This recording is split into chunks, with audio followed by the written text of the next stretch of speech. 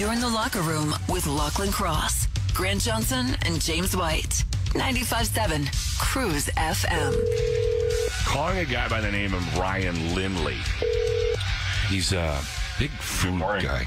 Ryan, how are you? I'm good, pal. How are you? Good, good. Um, Linz works with the Dean Blundell Podcast Network. Have they given you some sort of directorship? Uh, Director of Food and Beverage, I believe. There we go. It's a good one to have. Now, I'm going to tell you something, and I swear to God, I am not making this up, Linz. Yesterday, we started talking about the Tim Hortons pizza, which we talked about on the show yesterday as well. It's being um, tested in Toronto right now. I tweeted about that after I found out about it, uh, whining that they weren't doing it in Edmonton. Why Yeah. does Toronto get the cool stuff always? We started talking about it on the podcast yesterday. Linz does a story just carving it, shitting all over the pizza, shitting all over Tim Hortons, taking a big dump on the new offering. And I'm like, oh, yeah, there we go. And his title is Can Someone Do a Wellness Check on Tim Hortons, Please? And he's got Dave Chappelle Ah. trying to put cocaine in his nose uh, right on the front of it. It's like, But hang and, on, and just hang on. carved it. Carved it, dude. Carved Hold it. on. Yep. Absolutely. When's Go the last time you've gone to Tim Hortons? Listen, can I read you what he said? Let me read you what, what Linz put in this article before we before we go any further. And because Do the Locke, math. you and I are on the out, same page. Let's I, give these. I was guys there this chance. morning, Locke, just so you know.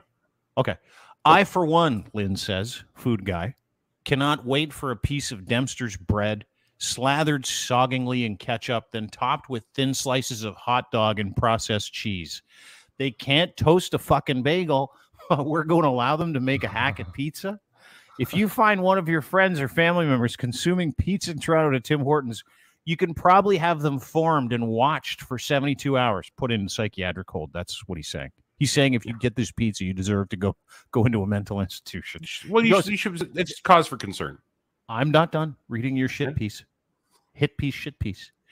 And I swear to all that is holy, if you order a pizza in the drive through just in front of me, trying to get a mediocre coffee on my way to work, you and I will be on the six o'clock news. Ouch, Linz. Well, Ouch. there's- Ouch. There's my plans for next week. I'm driving to Ontario. Just gonna follow your ass around. And you, without even testing it or tasting this, have already decided that it's it's going to be awful, right? That's correct. Which you're judging a book by its cover. yeah, Uh, and you're uh, I'm judging. I'm judging a book by its historical uh, abilities and by its cover. Yes.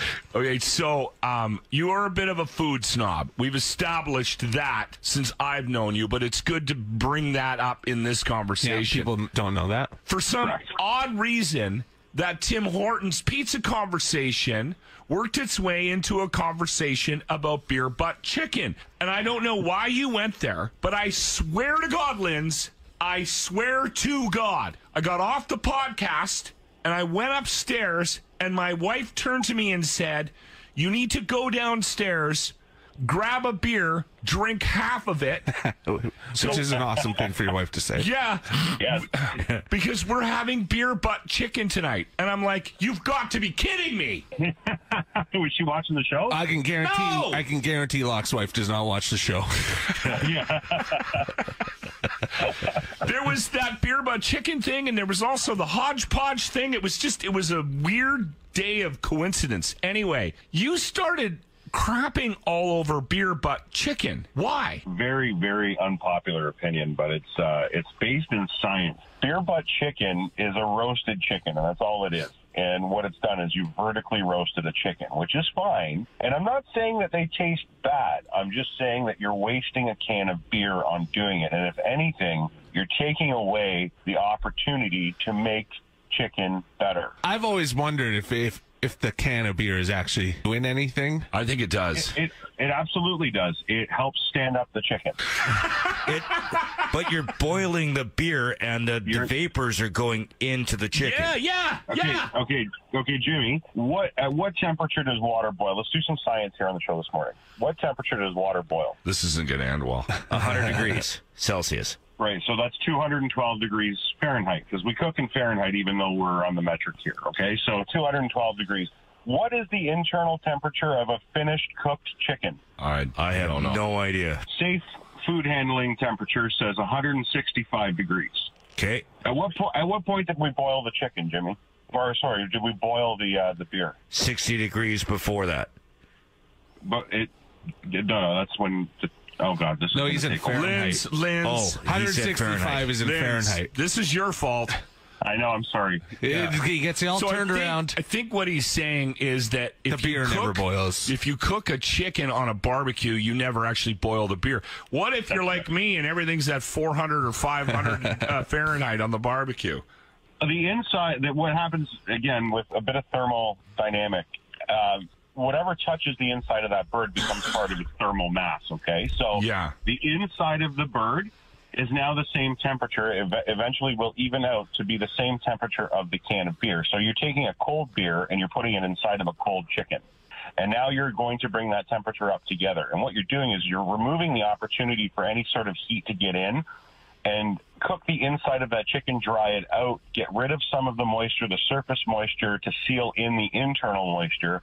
All you're doing is cooking against it and you're not you're not letting it you know how you get that nice browning of the skin on the outside? It's called the Maillard reaction when it comes to proteins. And what what it does, peptide bonds inside of the chicken skin break down and they become brown. They they release. You, you hear this all the time. You know, oh, uh, replenish your peptide bonds in your skin. You know, like when you hear Yeah, I hear that every day. when you, well, I'm talking about on commercials and, sh- and, and, stuff for, for skin creams. So what you want to do is you want to remove moisture from the skin of a chicken or the inside, the internal parts of a chicken, seal it off, and then that way the meat, the actual meat that you eat, that's the one that keeps the moisture in. Again, you're not you're not harming it. It's not bad inherently. All you're doing is roasting a chicken, but you're also blocking up a, a source of for the heat to get in there. There's way better ways to cook a chicken, especially on a barbecue, than shoving a can of beer up, uh, up its ass. It's cool though. It's fun. It's neat. Oh, looks that's it. It's very theatric. It's a it's a very it's a cult like theatrical cooking method, and that's all it is. And it sounds cool. It looks neat. You get to drink a half a can of beer. Why not drink the whole beer and enjoy a good chicken? Where did Colonel Sanders hurt you? I don't want to talk about Popeye. Is this a, a well known fact in the cooking world? So, but Yeah. pe- so people in the barbecue world would think that we're all being complete jackasses for for trying to cook a chicken with a beer can in its. N- No, Inside of it. Uh, and like I say, it's not it's not a bad thing, and it's not like it's like you're making a terrible chicken. It's still going to taste delicious, of yeah, course. I love beer butt chicken. better ways to do it, and there's better ways to cook it where you can get more flavor out of a chicken than wasting a can of beer on it. Okay. So yeah, in in barbecue, it's it's you know it's 50-50. It's like whatever you know. Some people like it for for the for the theater, and some people just you know they they just know the science behind it. Show me a Michelin star restaurant that serves roasted chicken with a beer can in it. All right. There are articles backing them up as well, by the way. Is there? Yeah, Okay. I was looking. Oh, I'm still doing it. oh yeah, that's fine. It's the only time I feel like a chef. can I can I give a quick tip? Yeah. Spatchcock. Everybody look up the word spatchcock and don't on my work computer. Should we do Yeah, be doing you can that? do it on your work computer. It's work safe, and what it is, it's a, it's a it's a method of actually cooking a chicken properly. And all you got to do is get yourself a, get a set of good chicken or uh, kitchen scissors, cut the spine out of that bird, crack it in half, season it, and it cooks evenly and quickly on your barbecue, and it tastes a hell of a lot better than a beer can chicken. What is that again? Spatchcock. Oh, spatchcock. Spatchcock. Okay, excellent. I'm loving that word. Okay, thanks, Linz. Okay, boys, have a good morning. We'll be spatchcocking it up